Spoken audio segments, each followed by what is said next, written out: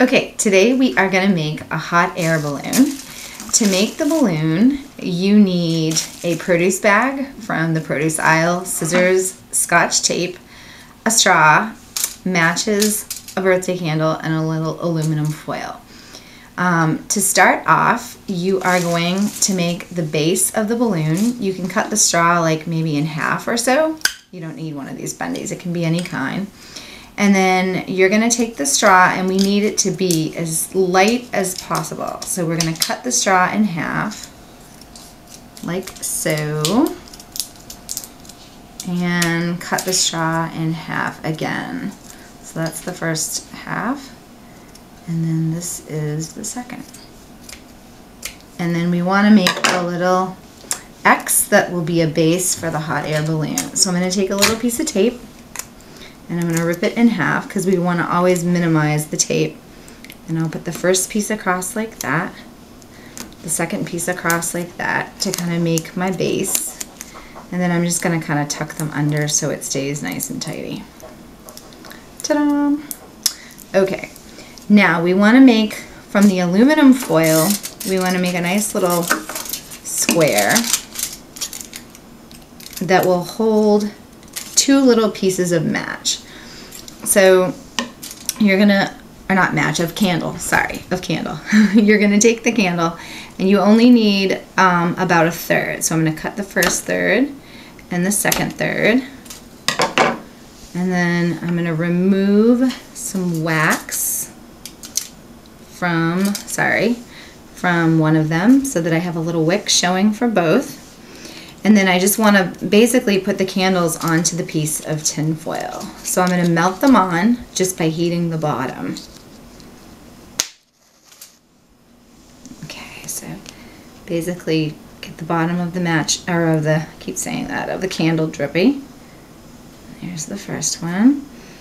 And then do the same thing to the other one. Bottom of the candle needs to be dripping you know, if you want to do this over a plate or something so that, you know, if you're a little, little drippier or whatever, you can, you can do that.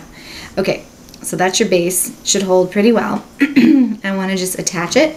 So again, I'm going to take another little piece of tape, but I'm going to rip it in half. And you're trying to get the most, the smallest little pieces you can possibly get. So there's the first piece.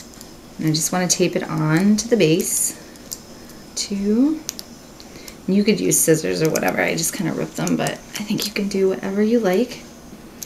Here's the next one. And then it's going to kind of stick, but you know, you can just kind of pick it up. And then again, you want to just kind of fold things under to kind of keep things nice and tidy. All right, awesome.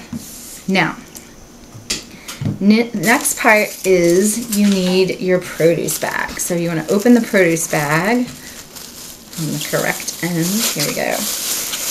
And then I'm just going to basically, again, try to minimize the tape. I'm going to take one piece. Oops, it's stuck there. I'm going to take it, this and just tape it on.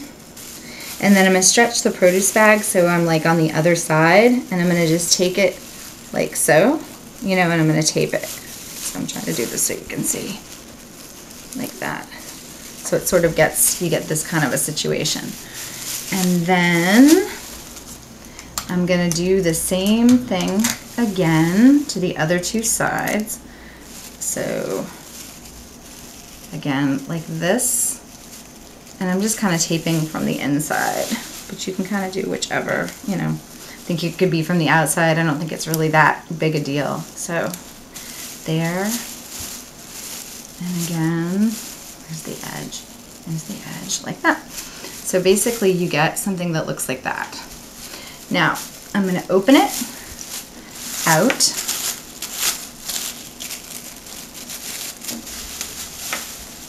Like so. Okay, so the last thing we're going to do is we're going to just sort of get the bag really, really loose so that there's a lot of air in there and we're gonna have to light it from underneath. I think that works best to not like melt the produce bag. So you're gonna light your match and then you wanna really, really give yourself lots of room because the bags melt really fast and really easily. So you've done this much work. You don't wanna light it on fire at this point. not on fire, but really just melt it. And so that is the balloon. We're gonna set it down and I'm gonna let it rest for a minute. And then the air gets warm, warm, warm, comes out the bottom so there's less air inside the bag. And then, in pretty short order, it's gonna lift off. Boom.